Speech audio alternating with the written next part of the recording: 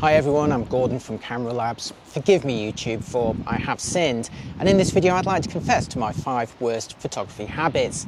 Now if you follow me on Instagram, at Camera Labs by the way, um, you could argue that I have considerably more than five bad photography habits but I wanted to talk about the five that I've consistently stuck to throughout my life as a photographer, the ones that just keep coming back. Those are the really bad habits, the ones that are so deeply ingrained you just can't get rid of them. But hopefully, by confessing to them, the shame will help me move forward. And maybe if you suffer from them too, you could go, do you know what? Maybe it's time for me to move on as well. And if you have got five or even three or four, however many bad photography habits, please let us know in the comments so that we can all shame, I mean, learn from each other. Okay, let's get on with it. Okay, bad habit number one is not leaving enough space around your subject for them to breathe. Now, the reason this is a problem, particularly if your subject is in motion, is because it's so easy to crop a bit of that subject off the edge of the frame. Imagine you're taking pictures of people playing sports and you've captured this fantastic moment of somebody heading a football or hitting a tennis ball or just jumping in a really spectacular fashion but it's spoiled because their hands or legs or even part of their head is cropped off the frame. Or even if the subject, the main subject, is comfortably within the frame, maybe the reaction of someone around them has been cropped. And you look at that and you think, cool, that picture would have been so much better if I'd just captured a slightly wider field of view. And it's this obsession that I've got to try and fill the frame, fill the frame with the subject in order to devote the most number of pixels to it and maximize the quality. Now, this is a kind of historical bad habit, as many bad habits are. They were formed a long time ago. When I first started with digital photography, I was testing cameras not even with one megapixel. They started off with a third of a megapixel, 640 by 480 pixels. Now, if your subject didn't fill the frame in those days, then you would end up after cropping with something that looked like, uh, you know, a sprite from Super Mario back in the 8-bit days. So I would always try and get into the habit of maximizing the size of the subjects on the frame to maximize the quality. But these days, with entry-level cameras and even phones offering 24 megapixels or more, and higher-end cameras really exceeding 50 megapixels in some cases, there's just no excuse not to leave some space around the subject. You can crop in later and still have plenty of room.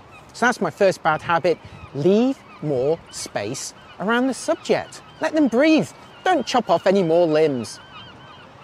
Okay, my second worst photography habit, these aren't in any particular order by the way, but the second that I'm going to mention in this video is obsessively choosing low ISOs, again, to maximize the quality. Now the problem with shooting at low ISOs, especially if you're based where I am, where the light levels are not always particularly bright, is that the camera has to obviously compensate with a different kind of exposure.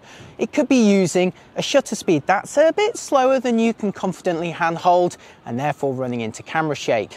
It could be selecting an aperture that's probably possibly wider open than you'd like it to be, resulting in a very shallow depth of field and I'll come on to that one as its own separate bad habit in just a moment. So the problem is you could end up with a picture that's not sufficiently in focus or a picture that's spoilt by camera shake. And for what? Just in order to shoot at 100 or 200 ISO. Now, again, historically, I would do this because back in the day, 100 ISO or 200 ISO was about as far as you wanted to take those cameras. If you were shooting at 4 or 800, you'd often suffer from really bad image quality, but that is just no longer the case. If you bought a camera in the past couple of years, you'll probably find that it looks fantastic at 800, 1600, maybe even 3200 ISO or higher. So embrace those higher ISOs. Sure, if you do want the best quality and you're, say, shooting from a tripod or understand the risks, go ahead, shoot at the lowest values. You'll still get the best possible quality. But shooting at 400 or 800 or even a stop or two higher on most modern cameras is not going to be that big an issue. And believe me, a little bit of noise is way better than having camera shake or too shallow a depth of field. Bad habit number three, having too shallow a depth of field. Now, I love bokeh blobs as much as the next man, maybe a little bit more. And in my job testing cameras and lenses, I love seeing how far I can push those shallow depth of field effects, but it can often be detrimental to the final result, can't it? If you don't have enough in focus, you can't actually see what the subject's supposed to be. And unless you're doing some sort of abstract type of photography, well, then that's a bit of a problem, isn't it?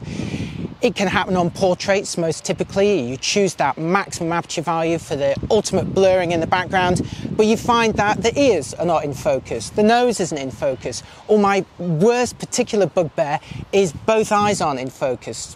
It just doesn't look right on a portrait, and it equally applies to video.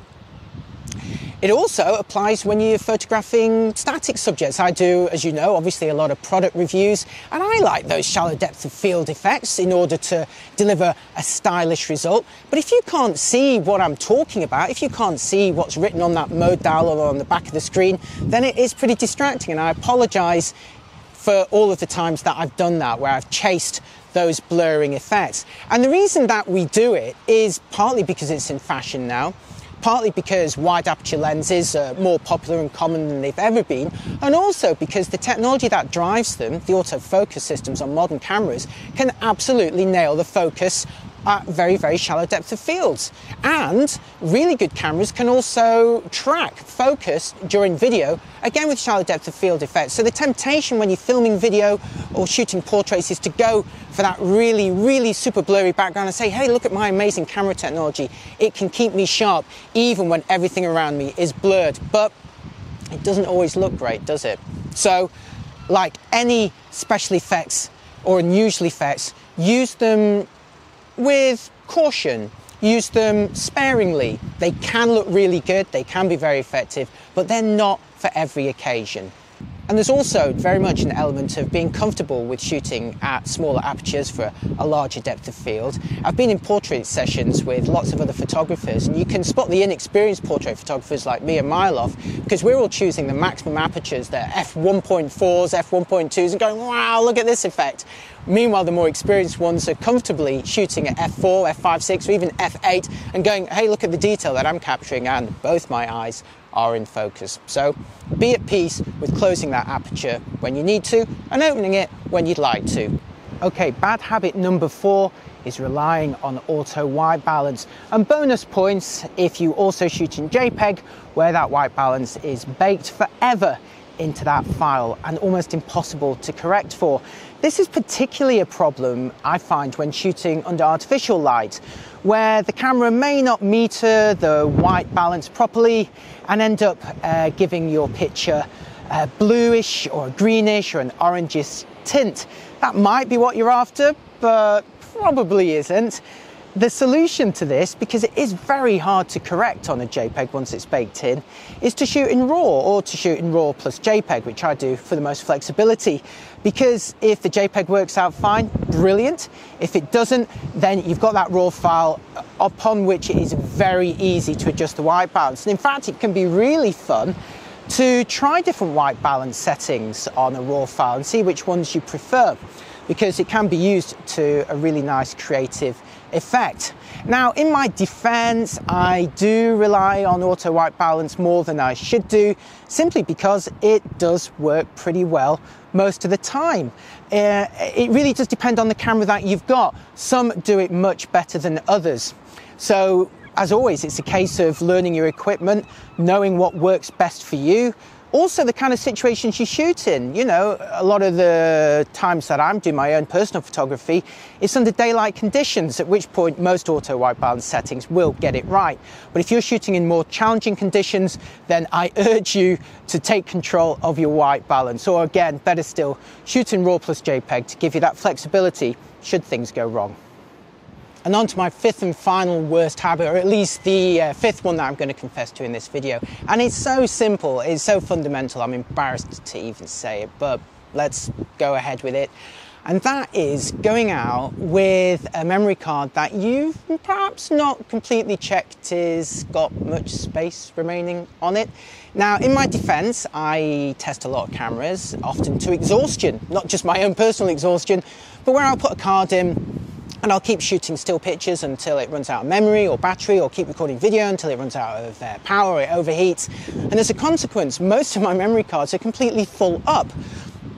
And I'm also you know, a little bit paranoid about reformatting those straight away because they contain the information that you want. Sure, of course, I copy them onto my computer, which in turn backs up onto network storage and cloud storage. Beyond that, I do have backups all the time.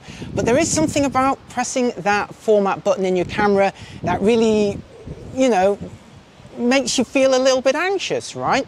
So often I leave those cameras full of images and video, which means inevitably when I go out shooting, I, I'm stuck thinking, oh no, I've only got space for a couple of pictures or a minute or two of video, and I have to start going through it and individually deleting images. Did I back that one up? Is it important? Do I need it as a spare?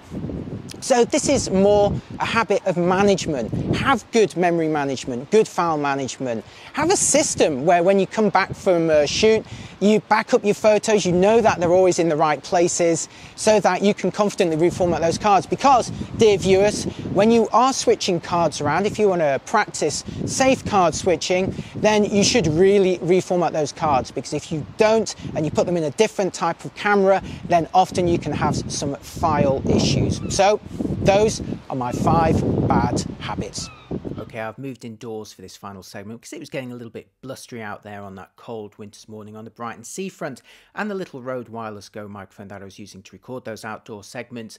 Well, if you can't get that little wind muffler on it, and I couldn't because it kept blowing off, then it's not particularly good under windy conditions. You get that kind of sound in the background. So I apologise for that, but it's just more excuses, isn't it? Maybe that could be my first bad habit in a future video for videography or vlogging bad habits. Let me know if you'd like to see that. But in the meantime, let's wrap up this one on bad habits or my own bad habits for photography. And saying them all out loud made me really realize that at least two or three of them were based on compensating for the deficiencies of older technology on older cameras, trying to maximize the resolution in your pictures, trying to minimize the ISO sensitivity for the best quality. These are all things that were important maybe 10 or 20 years ago, but which just aren't issues today in 2020 or going forward. And it reminds me of something that I say to a lot of photographers, especially photographers who are switching types of cameras, say from DSLRs to mirrorless, and they're looking at electronic viewfinders and the way they work, and they try and adapt the new camera to work like their old one. I mean, it's not surprising, it's what we all do. We've got something that we're very comfortable with, and so we try and bend new technology to work like the old ones. But when you do that, you're not making the most of that new technology. You really do need to relearn how to shoot with these cameras. Now, of course, all of the traditional stuff, aperture, shutter speed, composition, lighting, timing, all of that still applies to all cameras. But I'd urge you and urge myself to really adopt and embrace new technologies, learn how they can work for you and hopefully get rid of some of those old bad habits. So that's what I've taken out of this. What did you learn? Did you uh, watch this video and think, hey, you know what? I do some of that too. Maybe I could change. Or did you look and think, do you know what? This guy. So, anyway, I want to hear what your five worst habits in photography art. So, put them in the comments below. And that only leaves me to make a really unapologetic bit of product placement with this the Camera Labs mug. It really does make all of your beverages taste that much better. Links in the comments and the description below. Cheers. Mmm, truly delicious.